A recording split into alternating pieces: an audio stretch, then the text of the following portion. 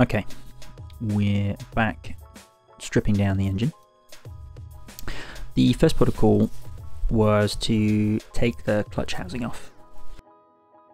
When I opened the clutch cover, you could immediately see a sort of an explosion of plastic shards from both the cam chain guide and the oil pump sprocket. There were no teeth left on the oil pump sprocket when I finally took it out.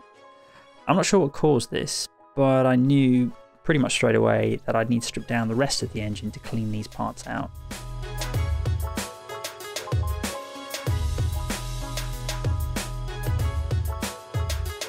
Once the clutch cover was taken off, uh, I took off the alternator cover to see if there was any damage um, on that side. Fortunately, there was none, and this allowed me to move the pistons up and down uh, to see if the conrod was okay. Had I moved the pistons up and down and only one came up, then I knew there was a big problem. But fortunately, they were absolutely fine. They looked a bit of a mess where the inlet valves had uh, smacked the top of them, but other than that, they were going up and down absolutely fine. The final thing I needed to do before splitting the cases was to take out the oil sump cover and the oil sump. This was pretty straightforward, just following the instructions from the Haynes manual, uh, doing the bolts in order. Uh, but again, I could see more sort of congealed melted plastic in the sump filter. It was completely clogged, the, um, the filter itself. I'm not sure how any oil could have passed through it. Alright, now for main event, splitting the cases. Once the oil sump was taken off and the engine case bolts were removed, this just needed a little bit of persuasion from the rubber mallet, but eventually um, it came off. You might be sort of wondering why I didn't take off the flywheel, and the simple answer is because I couldn't. It was practically welded on. When it finally did come off, some while, some time later, uh, the pressure behind it practically threw it out of the shed. Uh, so yeah, very, very difficult to take off and wasn't that necessary uh, at the moment. So there you have it. Case is now split. We can see the conrod and the gears uh, and I'm ready to take the pistons out and give them a clean up.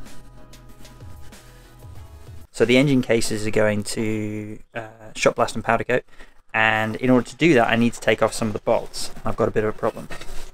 So on the on the sump where it connects to the bash plate there are some bolts that hold it on. And if you see that just down there, see these here? And they're held on by rubber mounts. And as you can see, these have snapped. Underneath those rubber mounts, it's got it screws into the actual sump itself. Um, but as you can see, I can't take these off. Now they're supposed to be 20 mil. However, they're so thin you can't get any purchase on them. So today I'm going to find a welder and we're going to get these welded to weld a bolt to it and take it off. Oh, I've got my good looking glasses out then, you want to